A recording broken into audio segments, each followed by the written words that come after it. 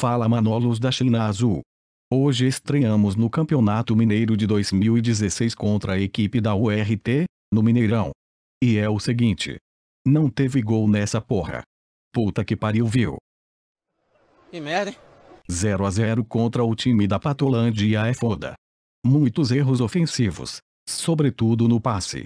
O David tem que arrumar esse time, que apesar de tudo melhorou em um aspecto em específico. Na defesa. Com a entrada do Dedé Mito. Tomamos apenas um ou outro susto. Agora para finalizar, chupa galinhada.